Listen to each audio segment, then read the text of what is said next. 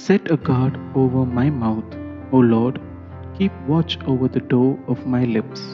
Psalms 141, verse 3. Thoughts on today's verse How important is our speech? Jesus said it revealed what was going on in our hearts. Proverbs repeatedly tells us that our words can wound and destroy or heal and bring life.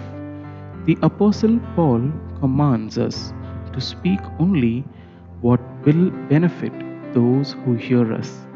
In light of these scriptures, David's prayer in today's verse is very appropriate. Only God can help us tame our speech and use its power to bless.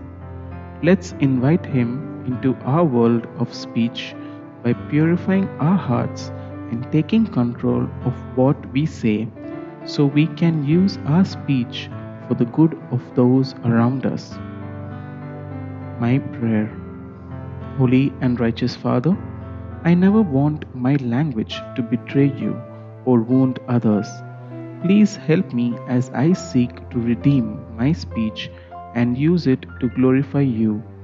Bless your children and speak of salvation with those who do not know your Son as their Savior and Lord. In the name of Jesus, I pray. Amen. Take care and have a blessed day. May God bless you.